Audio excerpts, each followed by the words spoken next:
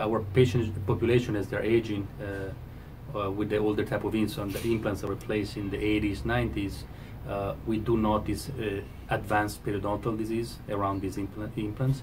And uh, one option would be is the maintenance that becomes difficult because we have deeper pockets around the, uh, these these implants, and over time, with a prolonged uh, periodontal disease over these implants, they end up uh, failing uh, and needing to be extracted. Nowadays, that we have this option, and, and with the true um, uh, data that can show that regeneration is possible with the with the LAPIP approach, I think this would be our first method of choice whenever a patient has a uh, periimplantitis.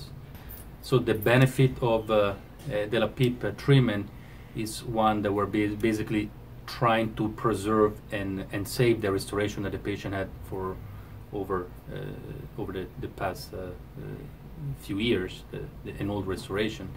usually the progression of periodontal disease around an implant is occurs over time.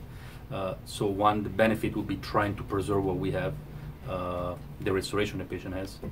Another important factor is that basically we are not cutting the environment, cutting the gums. We're not uh, having to suture. So it's a very conservative approach. It doesn't hurt to give it a try.